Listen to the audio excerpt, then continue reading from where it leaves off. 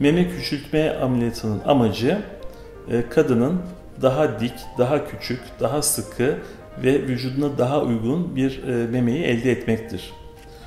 Bunu amaç edinirken nelere dikkat ederiz?